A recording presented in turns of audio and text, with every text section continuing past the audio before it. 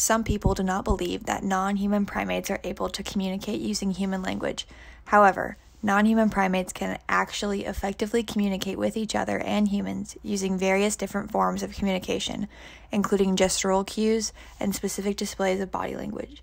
Being one of our closest relatives, chimpanzees have a brain capacity relatively close in size to ours, but a lack of neural intelligence in certain areas of the brain limits their ability to speak using dialect to the extent humans do.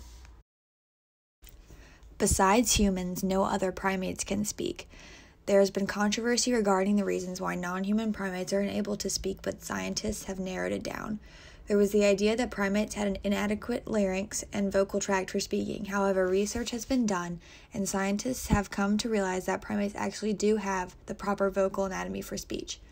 This discovery has led scientists to uncover that non human primates do not have enough brain power for speech. According to Jacob Dunn, a zoologist at Anglia Ruskin University in Cambridge, the primate vocal tract is speech ready, but most species don't have the neural control to make the complex sounds that comprise human speech. The ability to speak does not come down to the vocal anatomy of a primate, but to their neural networks. This limitation only goes so far. In the 1940s and 50s, Keith and Catherine Hayes adopted a chimpanzee and raised her as their own. They wanted to attempt to teach her human language. The chimpanzee, that they named Viki, overcame the cranial restrictions. After a period of rigorous training, Viki began to produce novel sounds and eventually learned how to manipulate her lips that resulted in her first word, mama. Before her death, Viki had learned to say up to seven words, including cup, up, and papa. Viki could use the words accurately, although she did sometimes confuse them. The work done by the Hayeses proved that the non human primates could express themselves through language if enough effort was applied. Communication in general is not as specialized of a human characteristic as one might think. In the wild, non human primates have been known to exhibit abilities to communicate through the use of autonomic and intentional behaviors and displays. This is often exhibited through gestures, facial expressions, postures, and vocalizations. Hair raising or enhanced production of body odor are examples of unintentional responses to stimuli.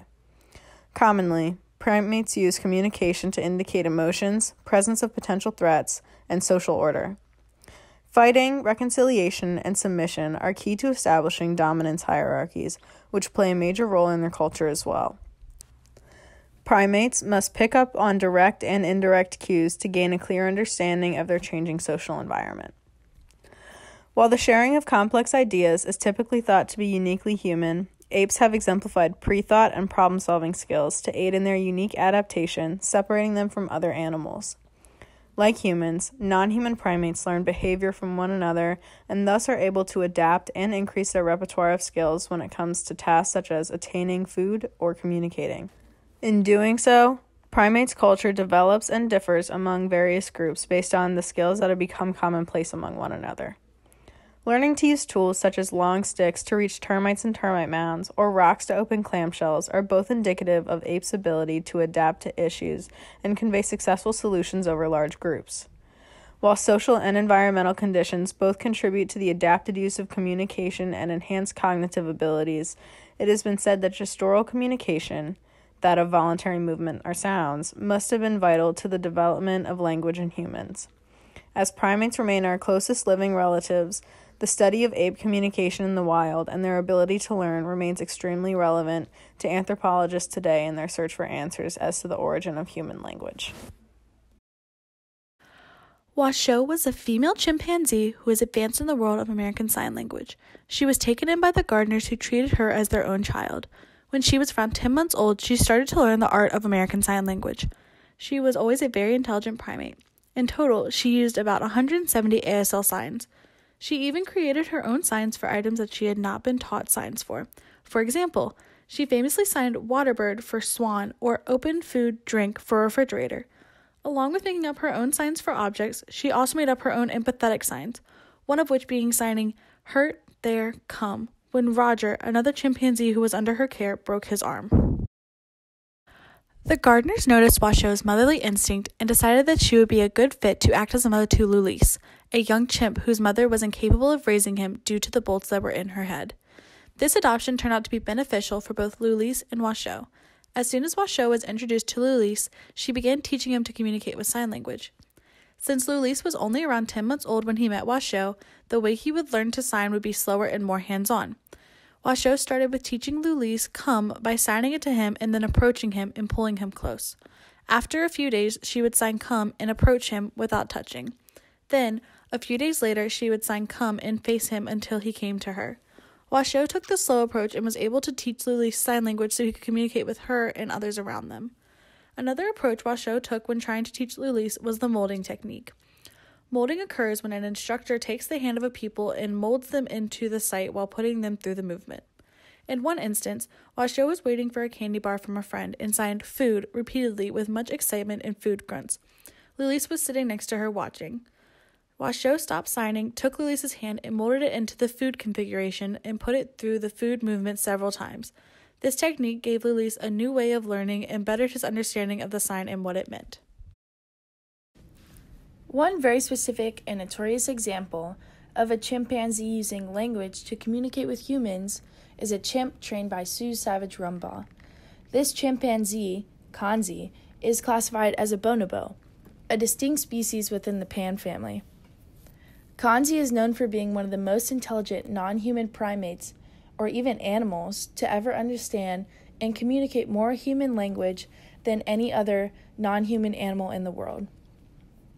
Much like English speaking human children, Kanzi grew up with a primal language of English, living in an environment surrounded by human adults practicing English regularly. Living a life under the guidance of Sue Savage Rumbaugh, Kanzi has been able to cultivate his communication in human language using a lexigram board, much like his bonobo adoptive mother, Matata. A lexigram board is a digital board covered in an array of keys denoting symbols, whereby each symbol represents a specific word.